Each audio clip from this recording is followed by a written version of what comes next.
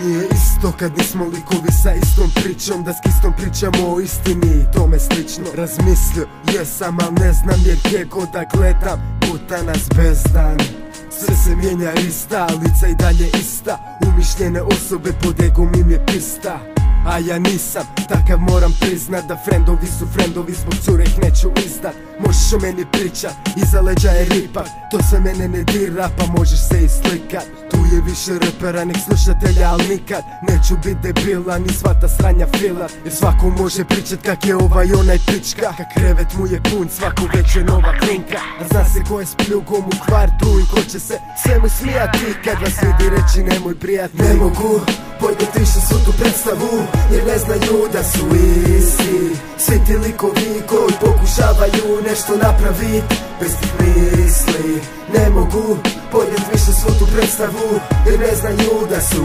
isti. Svi ti likovi koji pokušavaju nešto napravit Bez tih misli. Svaki dan u kvartu, u parku smislim lajnu Padim povučem tranu, iskaže na asfaltu Šećem dok ljudi oko mene sjede i pleje Ko sam poremećen a zapravo sam svjestan svega više nego oni. Zajebi ljubav sad je hladan dodir Jer oni nisu niti svjesni da praksu na zemlji Svi će odletit. Ko leptira širit će se krila i bok A problem je ko te gore čeka vrag il bog.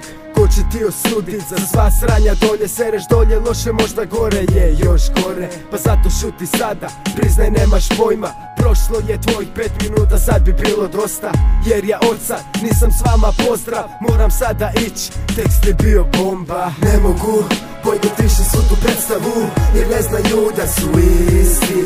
Svi ti likovi koji pokušavaju nešto napravit Bez tih misli.